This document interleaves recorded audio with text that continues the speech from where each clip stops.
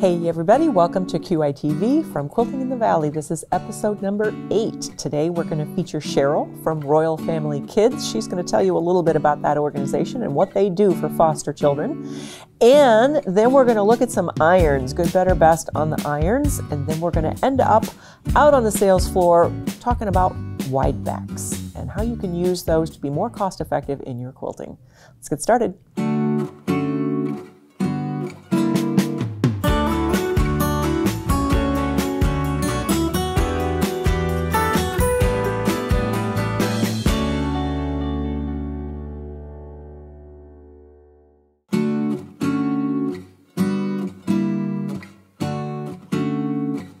Hey everybody, it's Lisa Quilting in the Valley. Here we are with Cheryl with Royal Family Kids. And Right. she's going to tell us about this neat organization that all of us quilters can get together and support. So, Ms. Cheryl, Yes. tell us about how you got involved with Royal Family Kids or what you do with them. What is your involvement with them? Um, I am the activities coordinator for the Moline chapter. Okay. And part of that is being able to find activities to be able to do with the kids that will build self esteem um, and give them self confidence that they can do anything. Okay. Just gives us an activity to be able to have fun with the kids and just build up our campers. So, what kind of kids are we talking about? Royal Family Kids Camp is a camp for foster kids. It is strictly about foster kids. Um, I can specifically talk about Illinois. So in Illinois, the number of people who are incarcerated, 80% of those people are from foster care. Hmm. We're out there trying to reach these people and to change the lives of the kids so that that number goes down. That's crazy. Eighty percent of people. That's that's crazy. Mm-hmm. So, and part of that. So, you tell me if this is true or not. But I have heard that when kids turn eighteen, they're pretty much given them a small amount of money, and then they're just On their own. you're you're on your own. Right.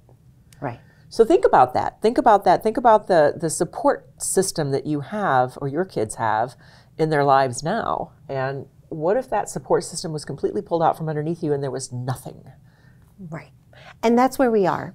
Um, we've got countless stories about kids that are in our camps and the different things that happen to them and how they end up in camp. Um, one particular story that was memorable from this year is that we had a little girl, and just for safety reasons, we'll just call her Anna. Anna came to camp, and Royal Family Kids Camp, kind of little backstory on it, is set up as a family unit. So we've got grandpas and grandmas, aunts and uncles, and cousins. We've got counselors. All those people are volunteering for Royal Family Kids Camp. In that camp, nobody gets paid. Everybody volunteers for the camp. Um, Anna kind of attached herself to one of our grandmas.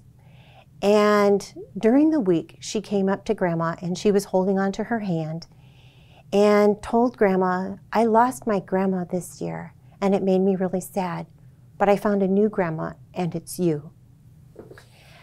That's part of the reason why we start volunteering Yeah. um, for these kids um, is to reach out there and to make a difference for them, to give them that connection, to be able to know that their voice matters in what they do. Um, our volunteers, all of our volunteers go through extensive training. Um, we learn what abuse, abandonment, all of those different things that these kids in foster care go through. We learn how it affects the kids. We learn how to cope with the kids and we learn how to deal with them and help them. We give them a voice so that they start learning that they are important, they are valued, and they are special. And as part of that, um, we serve them by providing them three meals a day at camp for a five day camp. They get three snacks a day. One of our kids this year said, This is the first time I've had three meals a day. Normally, I only get one. So, we are making a dramatic impact on the kids that are in foster care. Okay. So, as quilters, what can we do to support those activities? Well, as quilters, um, part of making the kids feel special and valued is giving them ownership of something. Part of that ownership that we see is giving them a quilt. They understand what a quilt is and that it's going to make them warm. So, quilters, we're asking people to make us full size or twin size quilts, Okay. along with a bag or a pillowcase for that quilt to go in. When they leave home, a lot of these kids are being pulled out of one home to the next probably four or five times. Sure. There's a limited amount of items that they get to take with them every time that they move. Right. A blanket is one of them. When the kids come to camp and we put a blanket on their bed, they know they're going to be warm. It's theirs to take home. We put their name on it, so it's theirs. They have ownership Right. of something. So, and you mentioned a bag. So, another thing that is a lot of these foster kids have um, struggles with is they don't even have suitcases or luggage or anything. So, when they go from place to place, they're carrying grocery bags with all of their belongings in it, which is just sad. So, if they had a bag that matched their quilt, something to put their quilt in, they could get the rest of their stuff in there too, probably. Yes, they don't get to take a whole lot with them. During camp, the one thing the kids do hold on to a lot of times, um, they get a small photo album of what they've done at camp. All the different activities, the people they've connected with, Yeah. they get to take those photos with them too. So that would all go into that pillowcase or that bag that that quilt would go into as well. Yeah. To reiterate, the size of our quilts, they're wanting full or twin size, and that's so that these these quilts can go with these kids as they grow. Correct. and they'll continue to be the right size. So that's good. So that is one thing that we can do. So as quilters, we can find our local chapter of Royal Family Kids. And if you want to do that, you're going to go to royalfamilykids.org. You're going to click on what we do. Then you're going to click on locations, and then you'll get a listing of all the different states that they have chapters in. Um, Cheryl here is from our Illinois chapter, and in our Illinois chapter, you're managing the camps for how many camps per year? I'm doing just the one camp in Moline, Illinois. One camp, and they have camp one time per year. Yes, it's a five day camp. Five they have days. it once a year. And how many kids are going to take advantage of this? Next year, we're planning on 36. 36 kids. So mm-hmm. 36 kids, very lucky kids, because there's a lot more than that in the foster system. Mm-hmm. One drop at a time, though. One drop at a time. So 36 kids.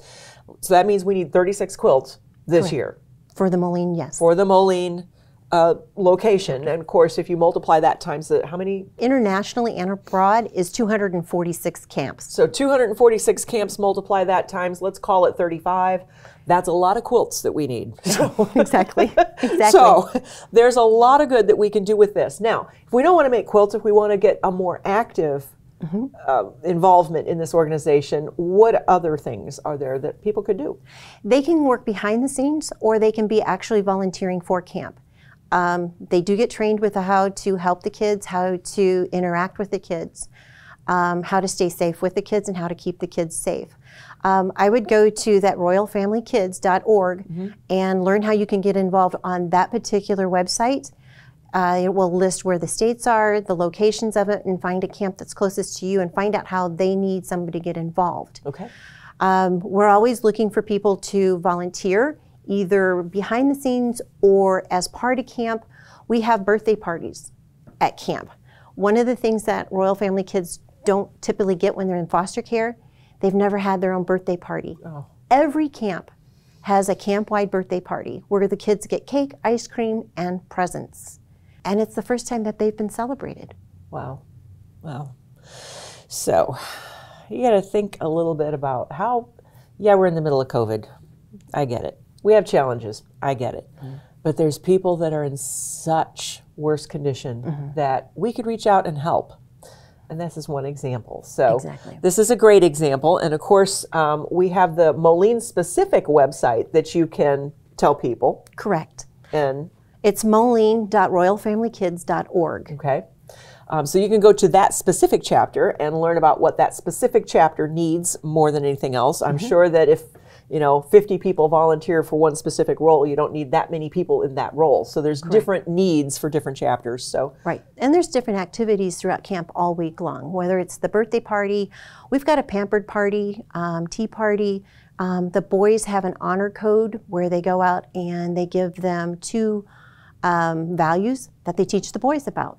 And so we're trying to be part of that parent and them caring adults that are teaching them different parts of life that maybe they wouldn't get when they get moved from home to home. yeah, cool.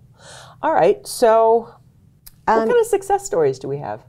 Um, we've got some really great success for- stories. Right now, after the kids graduate out of Royal Family Kids Camp, they can come back to camp when they are 16 as cousins.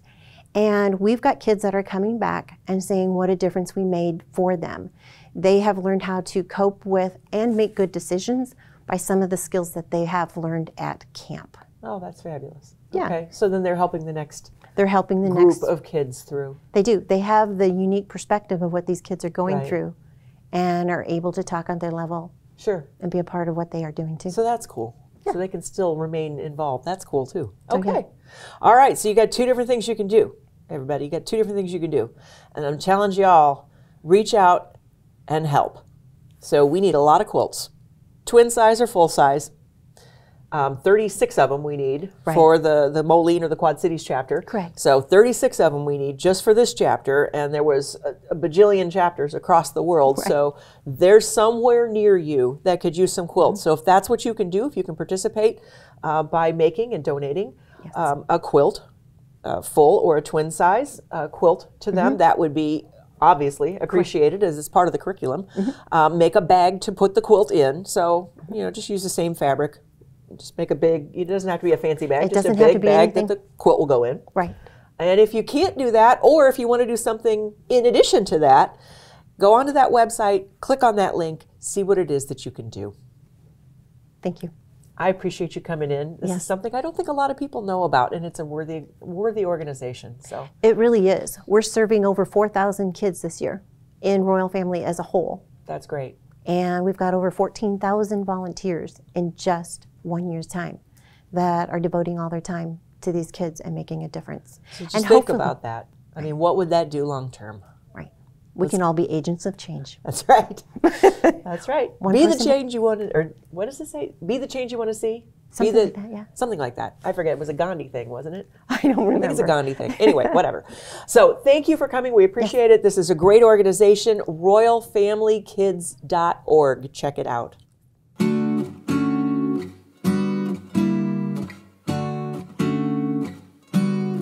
So here we are today with our Good, Better, Best. Again, I'm going to throw you a loop. It's not Good, Better, Best because I have three different applications, but I have three great irons for three different applications. So the first one I'm going to show you is the least expensive of all of them. It's $33.99. This is called the Little Steam Iron, or the Mighty Steam Iron. It is from Dritz, and you can see how tiny it is. It gets hot as all get out. This does not have an auto shut off, which some of us love uh, because that auto shut off gets annoying sometimes. But anyway, it gets hot as all get out. It does have the capability, you put water right in here, and then you've got your big boost of steam, or you can leave the steam off and it does have a temperature control. This is great for keeping right by your machine, uh, for quick seam presses, for paper piecing, um, just to get things nice and flat easily and quickly. It's not so fabulous for doing larger pieces, but for when you're doing piecing, this is a great little iron for 34 bucks. So this is a nice one. Um, and they last forever. Uh, they are very nice quality irons. This one is the one I keep at home for larger ironing jobs. This is the Panasonic Freestyle cordless iron. It has this nice case that you can carry it in. When they say freestyle, what they mean is it's pointed on both ends. So when you're um, pressing a seam open, you don't have that wide flat back that you have on typical irons that's going to smoosh all the work that you just did. So it's very easy to use. It's a nice iron. It is a steam iron. It heats up very quickly. It is cordless. No cords to get in the way when you're ironing the bigger pieces. It also has a ceramic coating on the base of it, which means that when you get steam a seam or whatever heat and bond on there, it's not going to make a problem. You just wipe it off. So very nice iron. Um, you can transport this hot. So it has a retractable cord. When you're done, you just reload the cord. You don't have to wait for it to cool down. Pop on the lid and off you go. So like I said, I have one of these at home. I love this iron. So uh, I've had one, a silver one, before they started putting the ceramic coating on it. And I've had it for, gosh, going on seven years now. It's a great iron. So they've come out, this is the newest color, the teal. So there's a teal one, there's a royal blue one, and there's a bright red one, um, if that makes a difference to you. But this retractable cord makes a wonderful deal for when you have to put your stuff away at home. Um, and then the freestyle part where it's pointed on both ends is great for quilters. The one that I wanted to show you, which is the absolute top of the line, this is the Laurastar. This thing is the bomb. So this is the Laurastar with the active board. What is an active board? there are fan blowers inside the ironing board on this machine. So when I pick up the iron, the fans kick into play. They're blowing up right now. Let's say I have this wide piece of backing fabric that I need to iron to get on my long arm. And you know how wrinkly and yucky uh, wide backs get. I can press this button on the end of this and the fans will reverse and it's now sucking the fabric down to the board. So you can see I've got a lot of fabric hanging off the end of this board and it's not falling off because the fan in the board is sucking that fabric down so it stays in place. This is a micro steam iron. So when I say it's a micro steam iron, I mean I can go like this, and my hand is A, not wet, and B, not burned. If I had my hand behind the fabric and shot that steam at the fabric, I would burn the skin off my hand. It's micro steam that is superheated. So what it does is it penetrates into the fabric that you're ironing. So I just did four layers of this backing fabric, that first press. You can see how the top, four layers through, is all pressed. So now I'll do the next one. The other benefit of this is that because it is that dry steam, my fabric is not damp once I've done. And that means when it pools or bunches, it's not going to get wrinkly again. So there I did the next press through. Four layers at one pass. Um, the other thing that is really kind of cool about this is that this kills, if you wanted to do your drapery or your upholstery, kills 99.99% of germs and viruses, including COVID-19. So you could just go and everybody that comes into your house sanitize them, or at least their clothes. Um, this is a really cool thing. So if you were going to do, say, a batting, you know how batting, when you get it out of the package, it's got those big creases in it?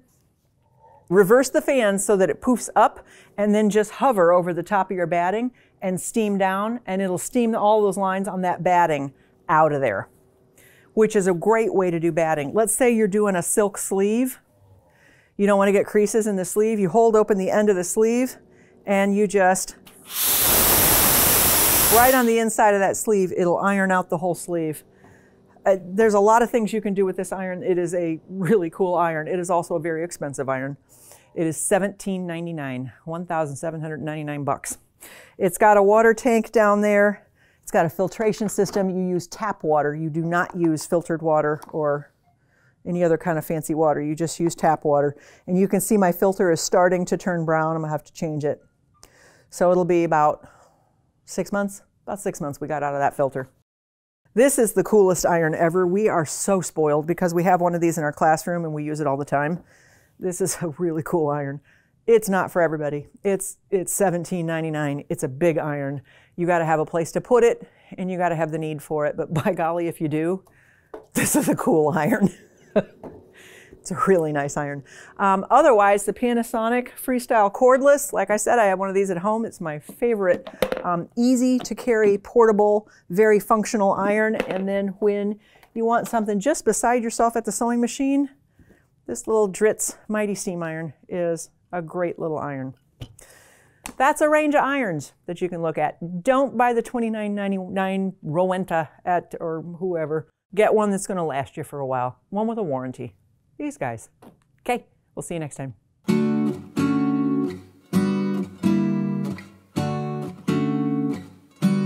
So, folks, here we are with our wide back selection. We're going to talk a little bit about the value in wide backs versus regular width fabric. Um, I'm not sure everybody knows all about this, so let me just review what we have here on the table.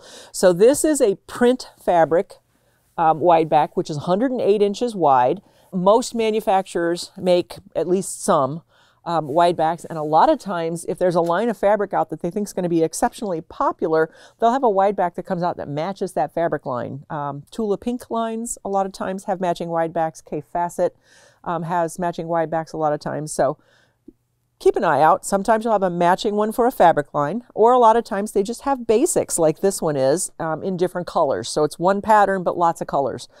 This is a batik wide back. So a batik wide back is 106 inch wide typically, and that's because of the batik process and all the different times they bathe this fabric in hot water to get the wax off. So it's a little bit narrower than the print wide back. So 106 inch wide on this one. This is a flannel wide back. This flannel, um, this particular one is a 108, I think I'm making sure. Yes, this one's a 108. A lot of times flannel wide backs are slightly uh, narrower as well. Then we've got some Minky fabric. This is Minky. The normal width of Minky is 60 inches. And then we've got Fireside. Fireside is from Moda, and it is a, uh, a plush fabric that is it's not similar to Minky, but in the same category as Minky. It's also 60 inches wide. Then we have right here a Michael Miller Minky fabric, which actually is a wide back. This is 90 inches wide for a Minky. So you have lots of different widths. Um, if you're curious as to the width of the fabric you're getting, it'll say right on the end of the bolt how wide it is. So this is your regular 44 inch wide, 44, 45, whatever, inch wide fabric right here. So let's say you're going to back a queen size quilt. If you're going to back a queen size quilt, you're going to need, because of the extra you need on either side for take up, about three yards going this way. So three yards side to side on a queen size quilt, that's only going to get you 42 inches down. Queen size quilts typically between 90 and 100 and some odd inches long. So that means you're going to need three rows, three yards each, of regular width fabric. So let's say you're purchasing, that'd be nine yards, your nine yards of fabric at $11.99 a yard, you're looking at $108 to back your quilt with the fabric that came out of the fabric line that matches your quilt. Now, let's say you're going to back your quilt with 108 inch wide fabric, which this one would be. You're only going to need three yards of it. The three yards of this fabric at $19 a yard comes out to $57. Hmm, 108, 57. 108, 57. Which do I like better? I like 57. It's also less work. You don't have to piece it. It's not going to stretch along the seam lines when you roll it on the long arm. Um, it just makes for a, a nicer quilt with fewer bulk seams on the back. So we are all about the wide backs in here. We've got, oh geez, I don't know, 140, 150 different wide backs in here. These being just an example of them. Now, I want to show you some of the Minky, how it works on the back, because a lot of you may be going, well, isn't Minky a knit? Which technically it is. So this is a Minky backing on this quilt. And you can see they just did quilt as you go on this one. So they just added strips to this. And you can see how nicely that stitching looks on that Minky fabric. So it actually quilts very well. It behaves well on a long arm. It is not difficult to, um, to frame up Minky for quilting and it does quilt very well. There's different types of Minky. This is the plush Minky with the, the fur going on in it. But again, you can see that it, it really stitches fairly well. You really don't notice anything out of the way with the Minky. And then if you were interested in the fireside, this is the fireside wide back. Well, it's not really a wide back, 60 inches. So the fireside, um, it, it has some stretch to it. It is a knit fabric like the Minky. Um, it's a lower plush. So when you do your quilting, your quilting is going to be a little more defined. So you should see a distinct difference in how the quilting stitches show in the fireside versus on the Minky, particularly the plush Minky here but it all works well on the back of your quilt. And there is nothing like a quilt with Minky or Fireside on the back in January. Whew, warm. Okay, so that is our lesson for today. Check out the wide back selection at your local quilt shop. It is much more economical to back your quilts with a wide back than it is to use regular 44 inch fabric. So I hope you guys enjoyed today's episode of QI TV. Don't forget, check out royalfamilykids.org. to check out how you can be involved in helping foster kids all throughout America. We'll see you next time on Quilting in the Valley, QITV.